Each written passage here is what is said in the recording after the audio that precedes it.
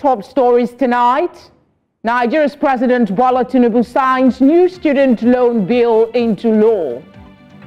Electricity users in Nigeria enjoying 20-hour supply to pay more. Impeachment panel begins probe of Edo deputy governor over alleged misconduct. Speaker of South Africa's National Assembly resigns. Thank you for joining us. I'm Felicity Ezewuike. We begin in West Africa, where Nigeria's President Bola Tinubu on Wednesday signed the Student Loans Reenactment Bill into law at the State House in Abuja. According to a tweet by the Special Assistant on social media to the President, Olusegun Dada, the bill signing took place at the State House in the presence of the leadership of the National Assembly, ministers and major education stakeholders. The new legislation repeals the previous Student Loans Access to Higher Education Act of 2023 and reenacts the Student Loans Access to Higher Education Bill from 2004. The executive bill establishes the Nigerian Education Loan Fund as a corporate body tasked with receiving, managing and investing funds to provide loans to Nigerians pursuing higher education, vocational training and skills acquisition.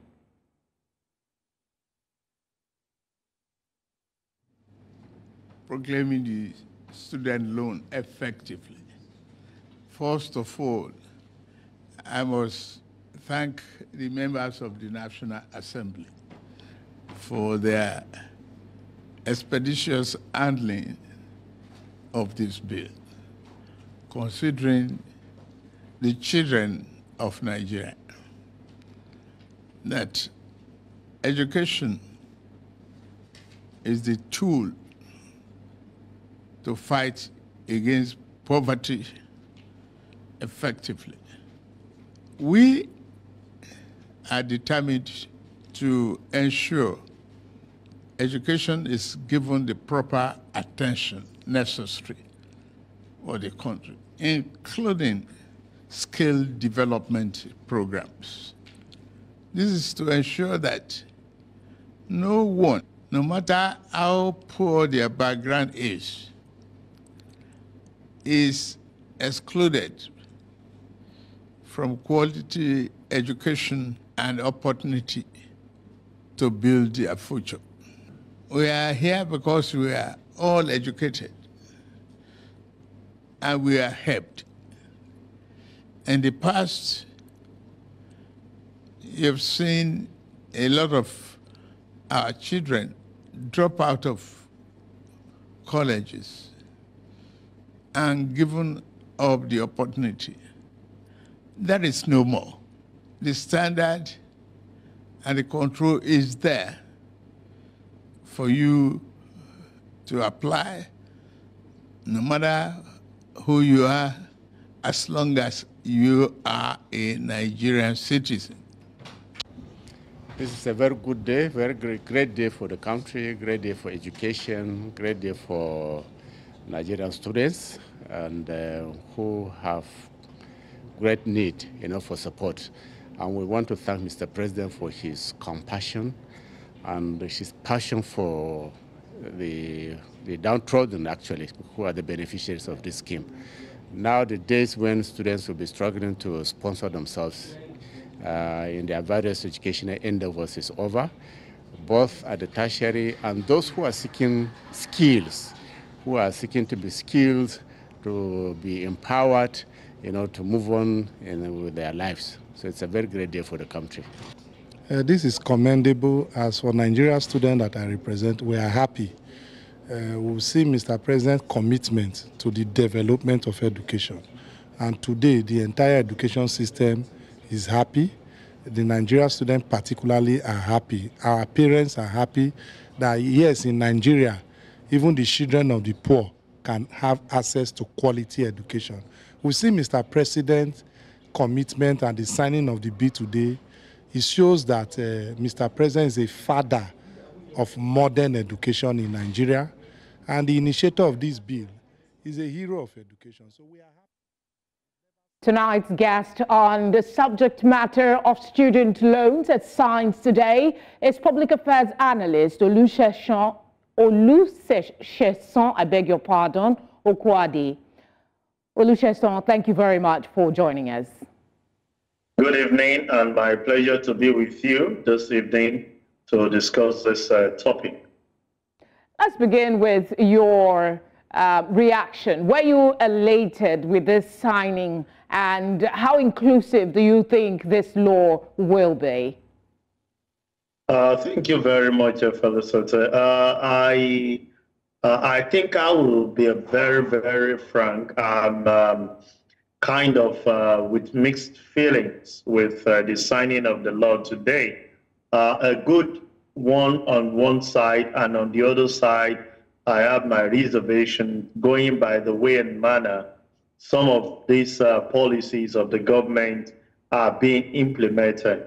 Uh, the first side of it, why I'm actually elated and uh, full of joy, is to say that uh, you now have the inclusiveness of uh, not just people going to tertiary institution, but uh, development in the area of vocational education or skill acquisition like you have it to be. You see, before now, we have actually pulled down that aspect, and it has uh, give a serious setback uh, to our development as a nation. Uh, it's not about uh, the tertiary institution. Uh, we should talk about technical skills, which uh, this particular loan scheme would definitely give room for. the other side where I have my reservation is that you will note definitely that uh, when you talk about policy, uh, we are not uh, having shortfall of it. The major problem we're always faced with is the implementation and to make sure that we implement it to the letter. But holistically, is a good uh, direction initiated by Mr. President, uh, at least to have the all-inclusiveness of everyone having viable education, knowing fully well that the state, uh, with the support of UBEC, should be able to provide both the primary and the secondary uh, education for all. I pick on your um, hesitancy about continuity. That is always a challenge in this country when it comes to implementing laws. What are there uh, maybe parts of this law that affirms that this will not die with this administration, that the longevity at the end of the day, we won't hear student loan was Tinubu's administration and not a continuum? Yeah, uh, first and foremost, signing it into law, uh, give it a boost. Uh, that uh, we should expect continuity for every serious administration that consider education as the bedrock to growth. Uh, but be it as it may, uh, you discover that most of the time, the laws that we have once it's not in, in line with uh, the policy of some of the people that are coming on board, they might decide to get jettison it. But part of the things we need to do is if we are able to implement this during this first uh, uh, remaining three years of this administration, and people can see value attributable to these uh, laws, then it becomes something that everybody wants to put the government on their toes to make sure that it did, uh, uh, did not see, uh, we do not see the end of it. So for me, uh, it's about starting it right, getting it, getting it right as we have actually signed this into law to see it through. And it becomes the project of every citizen to monitor every administration. You and I know that if something is beneficiary to every citizen, we have our way of raising our voices wherever it might be, whether in the valley, anywhere, to make sure that we are able to sustain it. And the government, we have no option to listen to the people because we all know we practice democracy and not uh, author, uh, authoritative style of leadership.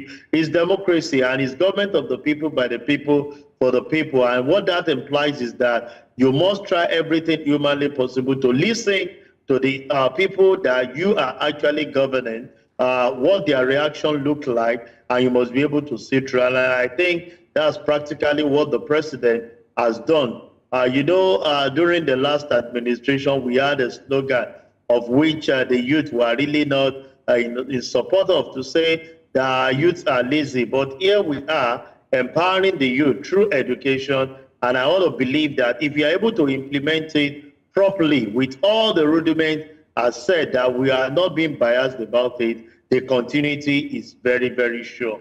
Another concern quickly is the fact that the launch was delayed several times before we had the indefinite postponement in early March. The presidency had linked uh, the delay to uh, the president's directive to expand the scheme to include loans for vocational skills.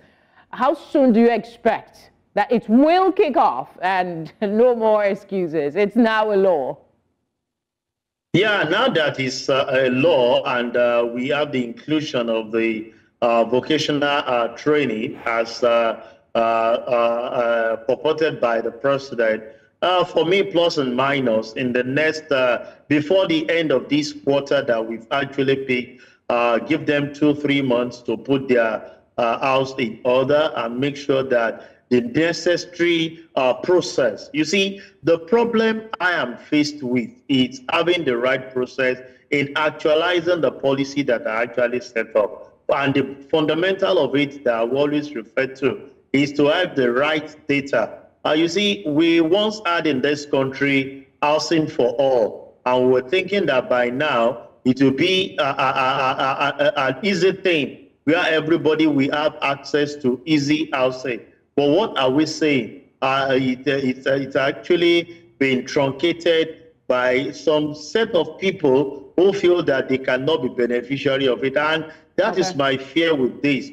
The area we must first concentrate on is to have the data to work on. And once we are able to build on those data, making reference to see that the right set of people that the funds are meant for are having access to it, and we can uh, uh, uh, make use of media to propagate that the right set of people are doing it, then definitely right. we're on the right track. I'm confident of this if we are able to do it. And we must not forget if there are people that are trying as much as possible to deviate from the focus, there must be consequences. Indeed. And that will serve as deterrent to, to people others. that actually want to mess up with the policy. Olusesan, thank you very much for speaking with us and sincere apologies for earlier stuttering over your name. Sometimes the tongue just doesn't work. Thank you for your time. Felicity, it's a pardon. Uh, we are one Nigerian and I understand the flight, uh, the plight that uh, we might have that uh, happening. One Nigeria, and together we can move on for a better and greater nation. Indeed. Thank you very much. Right, staying with education matters, Nigeria ranks 124th out of 137 countries in terms of quality of primary education, according to the World Economic Forum. This situation, experts believe, has worsened due to the low access rate by students and parents as a result of the rising cost of education both at primary and secondary levels. Bridging this gap is the reason quality education remains top of the list for sustainable development goals to ensure education is affordable and accessible for all, regardless of their socio-economic background. News Central's Omolola Ololade has more in this report. Nigeria's literacy rate increased by about 7% to a total of 61%, leaving 31% of the population non-literate.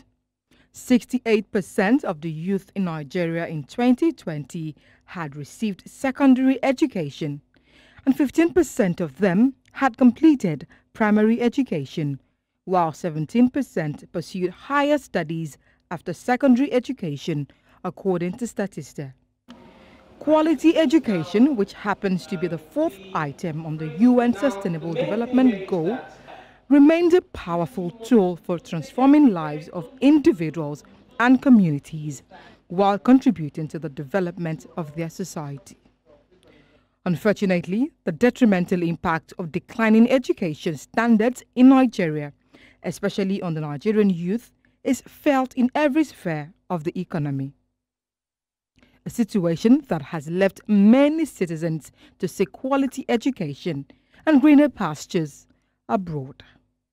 Also, um, after their education, they also seek for better work opportunities, work opportunities where the educational system is well developed.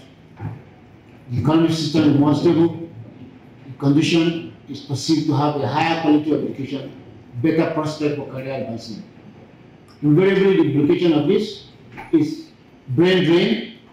A lot of skilled Nigerian workers have been exported to other countries, which is a loss to the country.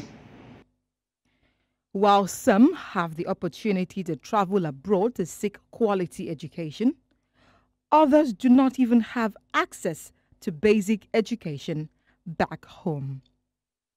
Kuma babban abin da yake kawo yanzu a yanzu da wannan karin da muke ciki talauci shewa mutane kanta. Iyaye ɗaukan ɗawainiyarsu yau abin da za a ci ake kokowa. Haki ne shi kansa ilimin to amma abin da za a ci shi ma kuma haki ne.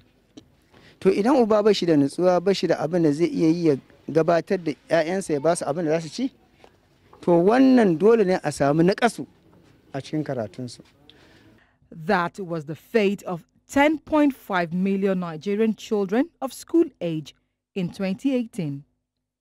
That number increased to about 14 million in 2020, and in 2022, it rose to 20 million. A 2018 Universal Basic Education Commission data indicate that in northern Nigeria, Bauchi State has the most out of school children with 354,373. The statistics also show that in Southwest, Osun State takes the lead with 165,114 out of school children, while Imo State 275,890 out of school children ranks it highest in the Southeast. And in the South South, Akwa Ibom State has the most out of school children with 581,800. Nigeria's basic educational system has been troubled for years, and education is to believe funding plays a crucial role in reviving the sector, especially in keeping Nigerian children in school. The states should really put more money into education. Mm -hmm. But it's not just putting money into education, into the right things. So it's the efficiency and effectiveness of the funds. So it's important that we fund it appropriately. We put enough money into education to ensure that every child has a chance. However, the rising cost of tertiary education in Nigeria is becoming increasingly worrisome for Nigerian students. Although the Nigerian government believes the provision of the newly approved student loan will help make education more accessible, the students think otherwise. A loan is something you have to repay later. so what's of people that don't have the money and I don't know the time span that I don't know it's agreed upon. I don't know. So what would what would be your fate? I wouldn't take the loan because of paying back. So I'd rather just find the money and pay my school fees by myself. Experts say the intrinsic cost of tertiary education is expensive. Therefore, higher education cannot afford to be completely free. Tertiary education in particular is extremely expensive. It's very expensive. But the thing is, Nigeria has signed on, you know, uh, signed all kinds of protocols and, you know, charters and whatever.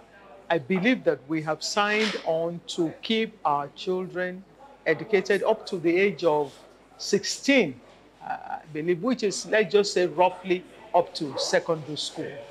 The issue of payment for education, we've always paid in Nigeria. Oil money changed that, and we said everything was free. Now we have to go back to paying. One thing that's clear forget how we got here.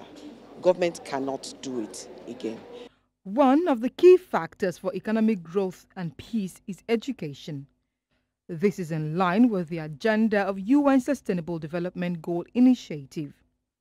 To achieve a society where access to quality education is not only free but affordable, government and all relevant stakeholders must be intentional in establishing sustainable enablers that may include public and private partnership.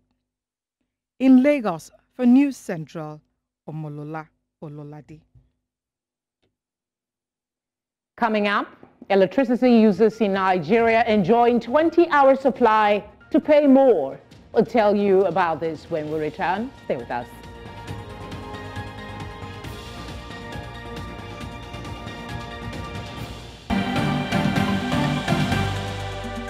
If you've just joined us, you're watching tonight. A reminder of our top stories. Nigeria's President Bola Tinubu signs new student loan bill into law. Electricity users in Nigeria enjoying 20-hour supply to pay more. Impeachment panel begins probe of Edo Deputy Governor over alleged misconduct. Speaker of South Africa's National Assembly resigns. Nigeria's federal government says that there will be a threefold increase of electricity tariff from 68 naira per kilowatt hour to 225 naira, which commences April the 4th. The vice chairman of Nigeria's Electricity Regulatory Commission made this known in Abuja while briefing stakeholders of recent developments in the sector, saying that this will actually apply to Band A customers who make up less than 15% of available electricity customers in the country. Amadine Uyi reports. The speculation for increasing electricity tariff has been ongoing since December 2023. This has put many citizens on edge, as the increase in electricity tariff will have similar effect like the removal of petrol subsidy across the country, which has catalyzed an unbearable inflation. However, speaking to stakeholders in Abuja, the vice chairman of Nigeria's Electricity Regulatory Commission says that an increase is inevitable owing to the increasing cost of gas and the rising foreign exchange rate. The April supplementary order takes effect from today, and in that order, the Commission has approved a rate review of 225 naira per kilowatt hour for just under 15% of the customer population in NESI. So that means that less than 15% of the customers will be affected. Many of the customers previously classified as band A customers will not be affected. In fact, majority of them will not be affected. The government has the ability to determine what customers pay. Because at the end of the day, our responsibility is to determine a tariff that ensures full recovery for investors. How they recover that money is actually, in some extent, in the hands of the government. And this is not peculiar to Nigeria. He, however, laid fears that all customers affected will witness improved service and longer hours of electricity supply, saying that the Commission also intends to obtain more data from electricity distribution companies going forward. The rate that will be paid, which is 225 is uh, just about three times the existing rates. Requires that the customer truly get the service. So I've told you that the Commission is leveraging on in technology to ensure that we get access directly to the distribution system and get the data as the data is being fed from the meters, the smart meters that have been installed on the feeders, we are getting in real time or near real time. We don't give the discos the opportunity of any manipulation of data. The Electricity Regulatory Commission also revealed that it intends to close the metering gap in the country using funds of those being affected by the increase in tariff. In Abuja for News Central, I am Amadin Uyi. To discuss this, we're joined by Adetayo Adegbemle, founder, Power Up Nigeria. He joins us from Abuja. It's good to have you on the news. This is a huge leap by any measurement. Um, what do you think is the rationale behind it, and what's your general assessment of the decision? Oh, well, um, like you already said at the beginning, uh, this is something that uh, we've always had coming. Um, a lot of factors in the production of electricity has increased in prices. Um, the tariff that federal that the government is paying has also increased massively. I mean, there was a point when initially they were paying about 70, 80 billion uh, per month, but now it has gone to about 240, 260 billion per month. So, I mean, and I think this year alone, uh, uh, I mean, the estimated uh, subsidy that was supposed to pay for the um, energy sector goes into about uh, 1.6, between 1.6 and 2 trillion, depending on what the forex rate says. So yes, this has been coming all along. But then um, it is also interesting to also say that, uh, uh, well, as against the fear that many people, you know, are entertaining, uh, I don't think we need to, to, to entertain such fears because if you look at it, um, about 15% of um, electricity consumers are directly affected by this. Uh, in fact, and a lot of other places where we thought, uh, or where a lot of people thought they were going to be affected, uh, they are not going to be affected. I've seen comments like uh, they they agree they, they increase tariff for, for darkness. This is not true the only band that has been affected, I mean, going by what we do, what we practice here now, we have a service reflective tariff, you know, um, which determine which is determined by the hours of supplies that you you you, you get in, in your houses or in your premises. Um, is what we are using. So basically, what we are saying is, if you are in that bracket that enjoys the best of um, service, electricity um, delivery, um, a minimum of 20 hours per, per day, um, you get to pay more. Um, okay. I mean, what was done is to remove a lot of the um, tariff, um, sorry, or, or, subsidy on it. So I think to, to be any less than 18% now, so you get to pay about 225. And this also cuts across um, both MDs and non-MDs. So I, I mean, once you're band A and it's confirmed that you're in that band A, you get to pay that 225. So, and if you look at it, the total population that is affected is is barely 20, uh, 15%. Of, yes, of those, those figures are, I mean, they were quite uh, clear when they spelled it out. But then again, this is Nigeria. Um, uh, there, there is concern in many quarters. I'm already seeing social media videos of people ranting about the increase how much should we place stock on the assurance that the review will not affect other customers on other bands? Well, for now, it is clear. The tariff uh, order, this tariff order that's released, it's called supplementary tariff order for April 2024, clearly states that the only band affected by the tariff uh, review are they, those in band A.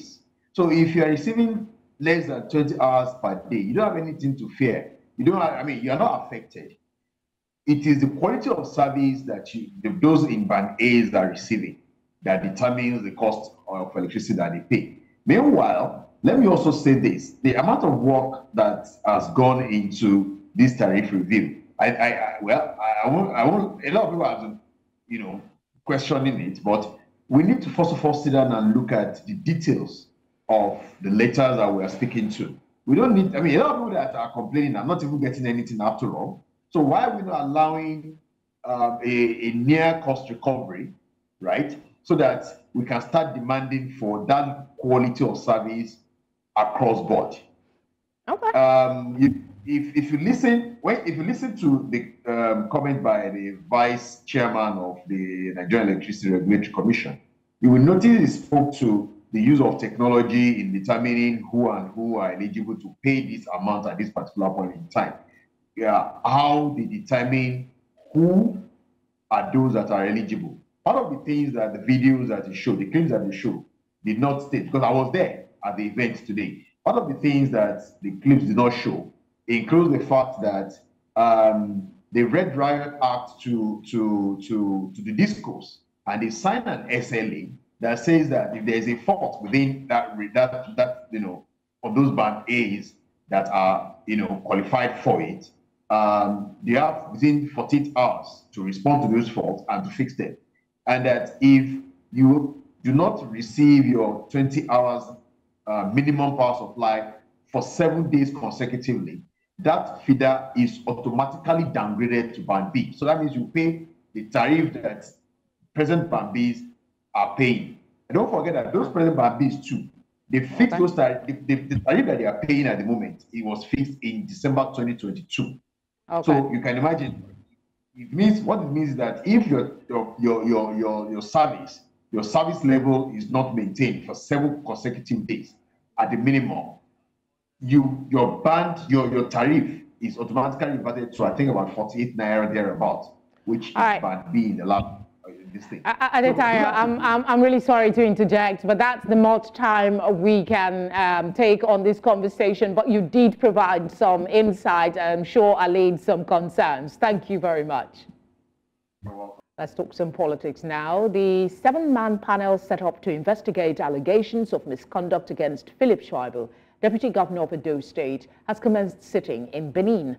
The panel was set up by Daniel Okungbowa, Chief Judge of Edo State. It is headed by S.A. Omonuwa, a retired justice. The commencement of the panel sitting follows the resolution of the State House of Assembly to initiate impeachment processes against Shaibu. Shaibu has since fallen out with Governor Godswin Godwin Obaseki, governor of the state. At the panel's inaugural sitting on Wednesday, the House of Assembly was represented by Joe Ohiafi, Deputy Clerk, Legal. Tribal was represented by Oladoyi Awoyeli, a professor and senior advocate of Nigeria. In July, Shaibu approached the Federal High Court in Abuja with a suit to prevent an alleged impeachment plot against him. Rivers Governor Siminalayi Fubara has promised to surprise anybody who dares him following the political crisis rocking the state. He said he would particularly surprise those who considered his honest decision to implement the Presidential Peace Pact as a sign of weakness. Fubara, in a statement by his chief press secretary, Nelson Chukwudi, said he had been inundated with comments in the media about the implementation of the peace initiative, but chosen to be silent out of maturity and wisdom.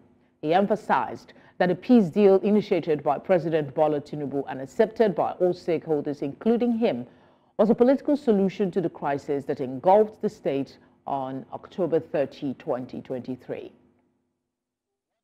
In here in our dear state is somebody who have respect for an elder.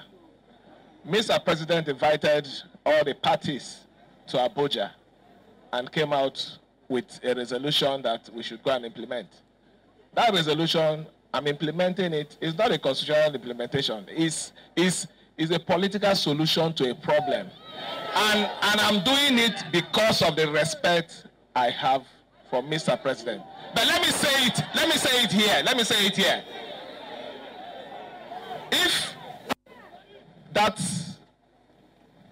action that I've accepted to follow will be taken for my weakness. I will surprise them. Still ahead, Speaker of South Africa's Assembly resigns over corruption allegations. Find out more after the break.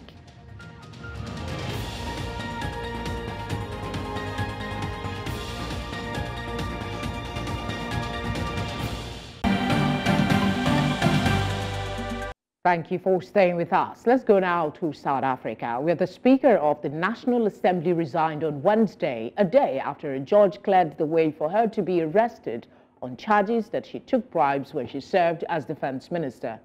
The resignation of the Speaker, Nosiviwe Mapisa Nqakula, comes amid a tense week-long standoff with law enforcement officials over a corruption case that has dealt a blow to the governing African National Congress two months before a crucial national election.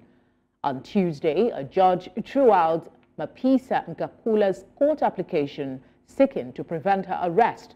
As of Wednesday afternoon, she had not turned herself into the authorities. Up next is business, and right after, we'll be having sports stories. Stay with us.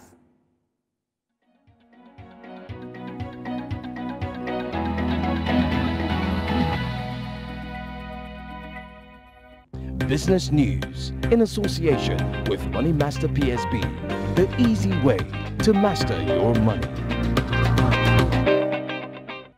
Welcome to Business News. Nigeria's Naira began the new month on a bullish note, appreciating to 1,278 Naira 58 kobo against the United States dollar from 1,309 Naira 39 kobo per dollar recorded last week Thursday. This indicates an increase of 13 Naira 81 kobo at the close of trading activity. According to data from FMDQ Securities, the indicative exchange rate for the Nigerian Autonomous Foreign Exchange Market, NAFEM, closing below the 1,300 Naira ceiling, marks the first instance since January 26 of this year. The Naira depreciated to as low as 1,615 Naira per dollar on March 13, 2024. Since the introduction of a slew of forex policies by the central bank, the Naira has gained over 21% on the dollar since March, while liquidity in the forex market has been attributed to an array of policies currently being implemented by the Central Bank of Nigeria, CBN. Zambia is currently engaged in discussions to restructure $3.3 billion of commercial debt following its recent agreement with overseas holders of sovereign bonds. Secretary to the Treasury Felix Nkulukusa stated that negotiations have already begun with private creditors other than bondholders and progress is being made. The country reached a deal in principle with private commercial bondholders on March 25th to rework approximately $3 billion in international bonds, bringing it closer to concluding the restructuring process. Zambia now needs to negotiate restructuring agreements with its remaining commercial creditors, including the Chinese state-owned China Development Bank, Industrial and Commercial Bank of China, the African Export-Import Bank and Western banks such as Standard Chartered. And finally, President Emmerson Mnangagwa has declared Zimbabwe's drought a national disaster and appealed for over $2 billion in aid to address the hunger crisis affecting millions of people. This announcement follows similar declarations by Zambia and Malawi due to the El Nino-induced drought that has triggered a humanitarian crisis in southern Africa. According to Mnangagwa, more than 2.7 million people in Zimbabwe will face food insecurity this year, with 80% of the country experiencing poor rains. The government plans to prioritize winter cropping to increase food reserves and collaborate with the private sector to import grains. The drought has also affected other countries in the region, including Botswana, Angola, Mozambique, and Madagascar. That's our offering business news at this hour. Thank you for watching. I am Perpetua Fasami Peter. The news continues shortly. Bye for now.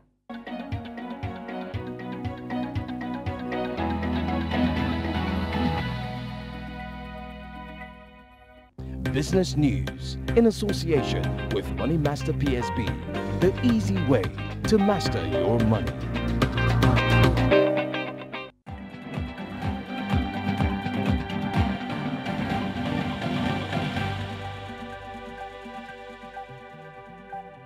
Sports Update brought to you by Corn Oil. Corn Oil, we go the extra mile. In sport, the General Secretary of the Nigerian Football Federation, Mohamed Sanusi, has implored Nigerians based in the federal capital, Abuja and environs, and indeed from neighboring states to troop out in large numbers to the MKO Abiola National Stadium, Abuja on Friday to support the Super Falcons in the Women's Olympic Football Tournament African Final qualifying first leg game against South Africa. Nine-time African champions Nigeria and reigning African champions South Africa clash in a potentially explosive affair as from 5 p.m. on Friday. The return leg is due for Pretoria's high-altitude arena, Loftus Versfeld, on Tuesday next week. Nigeria has not participated in the Women's Olympic Football Tournament since 2008 when the Falcons lost all three matches in the group phase in China. As at lunchtime on Wednesday, Captain Ajibade and 20 other players were in the Super Falcons camp. Uh, still talking football, a new football club, Ughelli Rovers, was on Wednesday unveiled amidst pomp and pageantry in Ughelli, Delta State. Led by founder Oke Umohowo, the club aims to be a beacon of community pride and talent development. With the support of dignitaries, including the Ovie of Ughelli Kingdom, the unveiling marked a significant milestone in local football. Sporting director Wale Adigun emphasized the club's actors rallying for grassroots backing. Grand patron Oharisi 3 commended the initiative for its potential to curb youth restiveness. Partnerships with telecom and entertainment brands signal a promising journey as the club prepares for nationwide League One action starting April 2024. And now to football in Cameroon, where the Cameroon Sports Ministry has announced the appointment of Belgian Marc Brys as the new head coach of the national team, replacing Rigobert Song. 61-year-old Brys brings extensive experience, having coached 15 clubs during his career in Belgium, the Netherlands, and Saudi Arabia. His most recent role was a three-year stint with Belgian club Juven. Joining Brys as his assistant will be former Cameroonian international striker Francois Omam Biyik, who scored 26 goals for the Indomitable Lions between 1985 and 1998. Brys inherits a squad that ex exited the recent African Cup of Nations at the round of 16 stage, losing to Nigeria. However, Cameroon currently tops Group D in the African qualifiers for the 2026 World Cup with a win over Mauritius and and a away draw against Libya. And to wrap up sports updates, we'll go straight to the world of uh, tennis, where new rules designed to attract more interest in doubles tournament for fans, players, and organizers will be trailed starting at this month's Madrid Masters, the ATP announced on Wednesday. Doubles events have become a financial headache for organizers because they no longer feature the best singles players, prompting the ATP to try and convince them to return. As a result, the doubles draw in Madrid, which runs from 24th April to 5th May, will include up to 16 slots reserved for teams entering via the singles ranking. The doubles tournament will also be condensed into five days during the second week as spectators will be free to move around the court. The players will be subjected to new rules as well to reduce the length of matches. Interesting times ahead in the world of tennis. And that wraps it up on Sports Update and Favor Itwa. Entertainment is up next.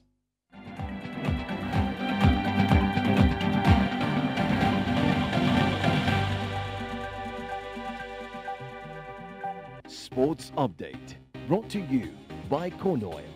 Corn Oil, we go the extra mile.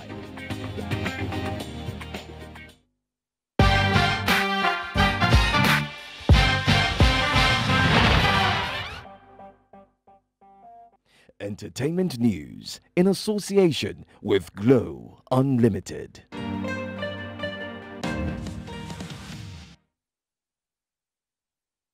IllBliss, the rapper and actor known as Tobechukwu, has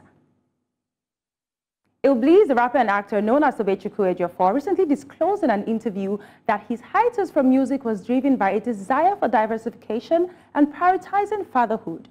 With the unexpected arrival of his two children, he felt compelled to take a step back from music and immerse himself in family life. Alongside embracing fatherhood, he delved into various creative ventures such as acting in movies and documentaries, seeking to express himself artistically beyond the realm of music. Now, his decision to explore these avenues was further motivated by a desire to produce more content and contribute to different artistic spaces. And now, a Manhattan criminal court judge has rejected Jonathan Majors' bid to overturn his conviction in a domestic violence case involving his former girlfriend, Grace Jabari. Majors, who is 34 years old, faces sentencing on Monday after a jury found him guilty of misdemeanor, third-degree assault, and second-degree harassment. Stemming from a place, stemming from a, stemming from a text from March 23, 2023, in New York City, Jabari accused Majors of twisting her arm during a dispute over a text message. Majors, known for his roles in Marvel production, including Loki, faces up to a year jail term. He denied the allegations and he is considering counterclaims against Jabari, who has sued him for defamation and physical injuries. Marvel has also dropped Majors from further projects following the verdict. And that's all we can take on entertainment tonight. Next is trending after this short break.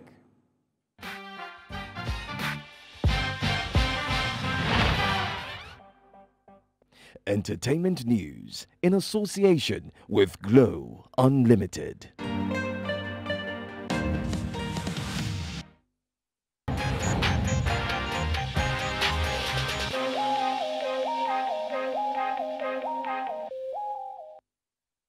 Moving away from entertainment news, Nathaniel Bassey is trending on social media.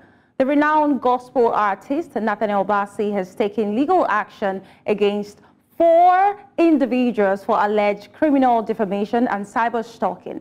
Nathaniel Bassey lodged a petition with the Inspector General of Police Kayode Egbetokun on April 1, 2024, with the support of his legal team. The petition follows recent accusations circulating on social media claiming that Nathaniel Bassey is the father of another gospel artist's child. The lawyer, represents, the lawyer representing Bassey emphasized the urgency for police intervention. There's also a trending video of the lawyers emphasizing the depth of the situation. Let us take a look at that video now. The petition is against one Mr. Okon, Okoronko Ejike, Mr. Kingsley Ibe, and two others. Let's also educate our people. Um, you cannot catch cruise with someone's heart and reputation. Fact, the law does not understand what is a cruise in the sense that you are criminally defaming someone and you cannot hide behind a camera to say what you were doing was a cruise. Because if it was a cruise, you would have clearly made it you know, a cruise. But in this instance, they were very categorical in their statements. Some of one of them even posted a picture of our client Nathaniel Bassey and said, "This is." The... Let us now take some reactions to this story on X.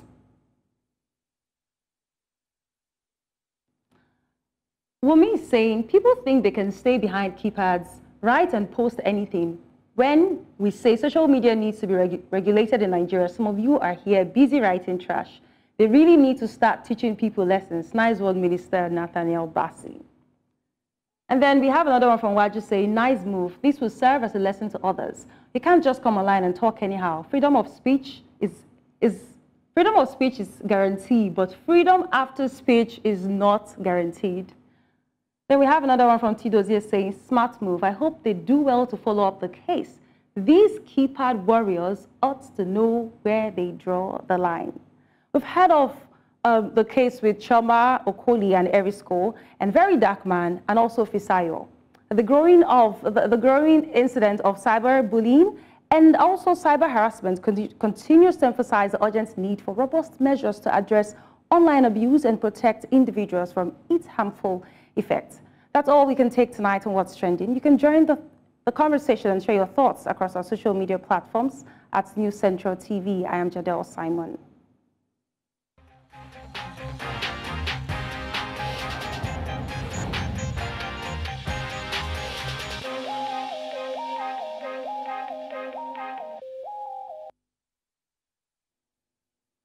And that's all tonight. But before we go, let's take another look at some of the major stories.